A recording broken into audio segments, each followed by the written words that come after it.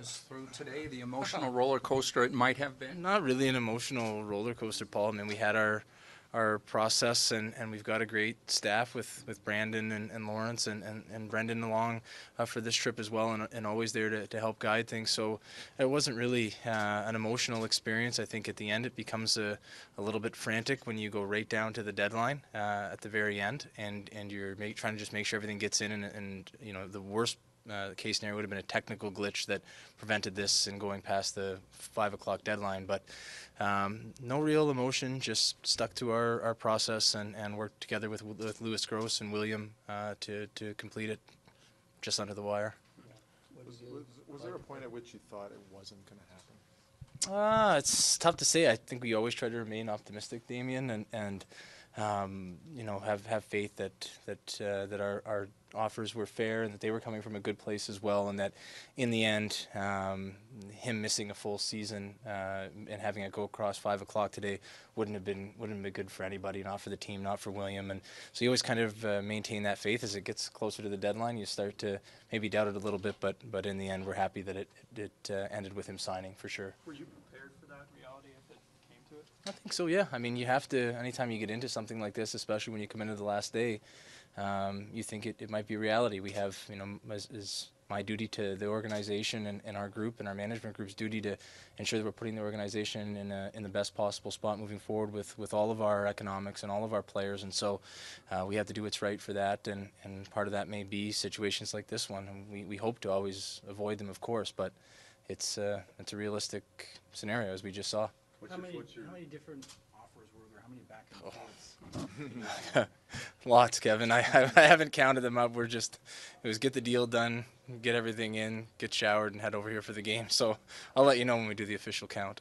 What did you like about uh, the deal? Like, why, why wasn't it, you know, a reasonable deal, fair deal for in your mind? I just think that in the end, we, we found a way that you know we we have a, a cap situation this year, which which afford us the ability to structure it the way that we did, and uh, and be able to uh, be able to compromise with William on what they wanted, and, and also for us in, in the in the out years, uh, being at a number as we plan with, our team for us to become a, a consistent team that, that's in the hunt and contending year in and year out. That we could we could certainly fit that in and have them be a part of this for for a long time, especially with the others on the horizon. So that was the way that we approached it, and, and we didn't really stray from that.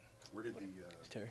the years two through six, the six point nine, you, the six point nine, did that, uh, vary much from your original offer, whenever that might have been? Well, I think every o- all offers vary in negotiations from. Well, I'm not, I'm not going to get into the where where our offer started and where theirs started, but essentially it uh, we worked together to, to get to, to that point, and we're happy with it, and I'm, I know William will be well worth that. So we're What's- what- excited. What's your sense right now? Is there one of relief, of satisfaction? What are you feeling? I- I'm I'm happy for, for our team and I'm happy for William. Um, you know, I, I wish that we were able to get this done before training camp and he was able to be a part of this. I, I think the team's record right now is a testament to the coaching staff and to the players on the group, especially that they haven't really allowed this to become a distraction. Even though, the, as I and I totally understand that the questions about it have picked up uh, of late.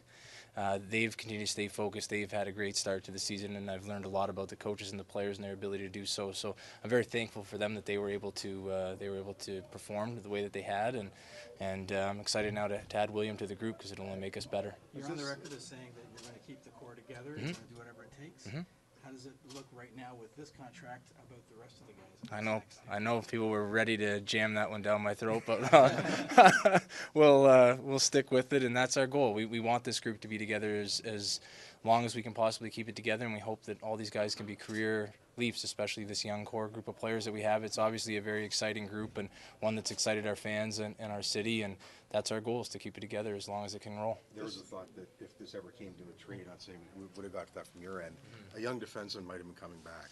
Is that an area that you still need to improve here to make it proper? we when when that stuff. I mean that that's a natural thing in hockey, especially when a player isn't isn't there. You, uh, people hear rumblings that his contract may be problematic, and I I think that uh, we were never constrained. That was never our our ambition. This was always, and I think other GMs in the league can verify it. We we prefaced everything saying our ambition is to sign this player long term, and and that's what we're working towards. Um, in discussions, we had lots of players that come up, not just defense, but anywhere we can improve the team, we will. Why didn't it end Certainly. up being, sorry, Damon. I was just gonna say, this, this December first deadline Mhm. is a bit different, uh, as, you know, in recent years. Sure. Does- this process change your idea of how you're gonna deal with Marner or Matthews and others going forward, that maybe your timeline has to be a bit different? Sure. I mean, uh, we we've had discussions with both of their camps already. I, I the way that I uh, had come into this, I know Lou had spoke with with Lewis last last year. I don't know the exact specifics of it, but uh, we've had discussions with uh, with Judd Moldaver and Darren Ferris, and we'll continue to do that. Obviously, we want to avoid a situation where not all of our players are here at training camp. So uh, this is the furthest one of these has ever gone um, to within five minutes of the deadline. So. we're making history. Yeah, not in the way we'd like to, but we hope to on the ice in, in time. But um, you know, we'll, we'll continue to work with those guys, and, and this is not the, the. We're happy to have a solution. It's not the preferred timing of the solution. Why did it end up being so difficult, do you think? Uh, that's probably more of a question for uh, for Lewis. I think um, you know they had their they had they were entrenched in their spot, and, and we were uh, we were in ours. I think the the looming number of, of young players that's coming due after this season certainly influences that, and what's going to happen with the economics of of the game and so on and so forth. Um, but I, I can't answer that specifically. We, we just try to stick with our process we follow in, in each of them, and and um, we hope and, and I do appreciate the, the amount of effort and work that Lewis put into this and and uh, and William throughout. They were both very responsive and, and good to deal with. Did you end up talking to William? Yeah, yeah, yeah. I've, I've talked to William throughout. and Obviously, we we've met throughout and talked on the phone and text, so on and so forth. We've we've stayed in touch, and you know, I, I know it's it, people can make it seem like it's contentious, and maybe at, at points people deem that it was, but when he gets back here, it gets rolling, it'll all be gone, and, and we'll be thrilled to have him back. The process July 1st seem easier to what uh, you guys have just gone through here? not, not, not really, I guess.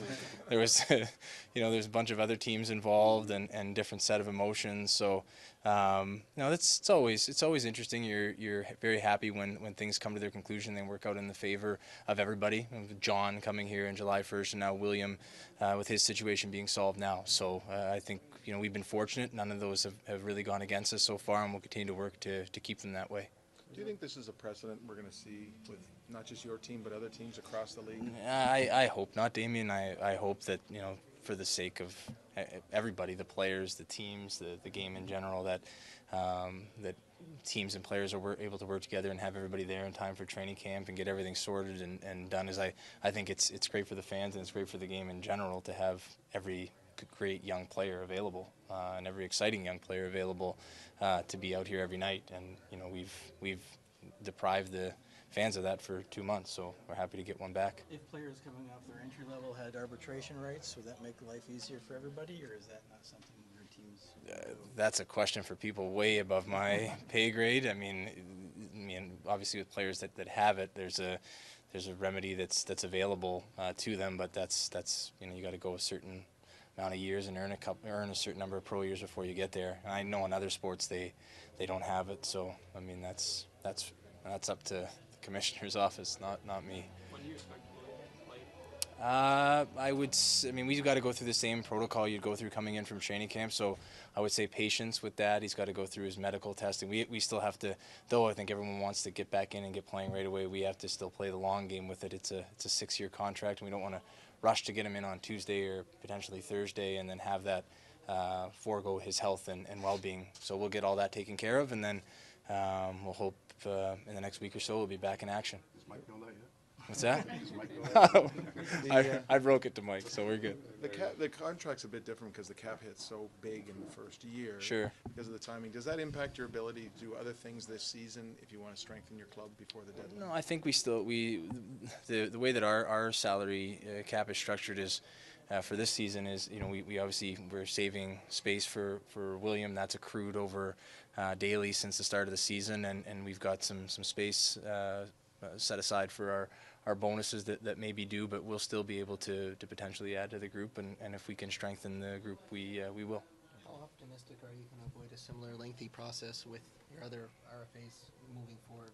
Sure. Well, that's the plan is to avoid it. I mean, it's our it's our full plan to have everybody available for the first day of, of training camp. So, um, you know, I think we we've shown that you know when it when it comes to making sure that everything fits our economics, that we will go to whatever length we have to. But our goal is to have everybody settled as soon as they possibly can, and that allow, allows us the best plan for the remainder of the year and roll from there. Mark. Around what time did you actually agree?